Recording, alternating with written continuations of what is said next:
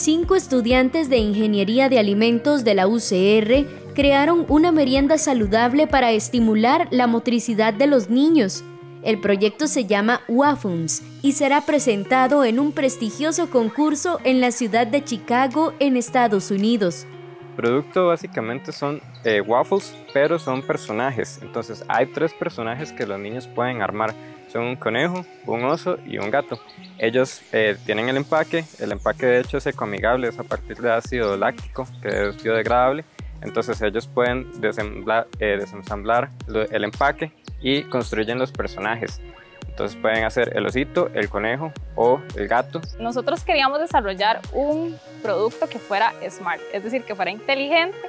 Eso quiere decir que el producto es este, desarrolla las habilidades motoras en los niños porque es como un tipo de rompecabezas que ellos tienen que armar. Este, esto lo quisimos hacer porque las este, habilidades motoras van declinando ahorita en los niños de 4 a 8 años, que fue nuestra población meta.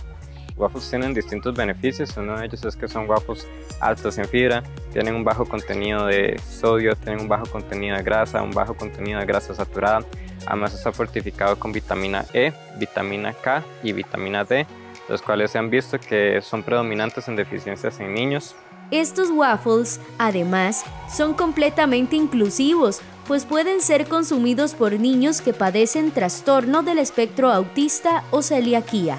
Además, este waffle tiene el beneficio de que tiene una textura crujiente y eso es lo que desean de hecho muchas veces los niños que están en el espectro autista. Ellos experimentan a veces sensaciones muy fuertes de disgusto cuando consumen productos con texturas arenosas o con texturas blandas. Estamos tratando de incluir niños que tienen alergias, niños que son celíacos, niños que son intolerantes a la lactosa, eh, niños que además están en el espectro autista, niños que tienen dietas a base de planta porque todo el producto es libre de productos de origen animal. La Universidad de Costa Rica tiene ya ocho años participando en los concursos organizados por el Instituto de Tecnólogos de Alimentos de los Estados Unidos. Según comentó una docente que ha asesorado a este grupo de jóvenes, es muy difícil observar a estudiantes de universidades de América Latina llegando a la final.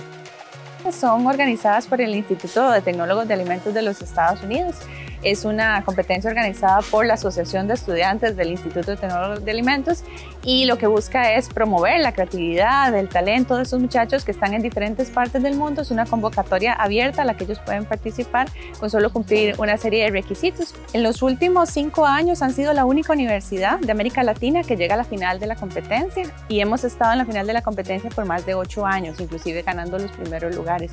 Para la Universidad de Costa Rica es todo un orgullo el reconocimiento internacional de nuestros estudiantes.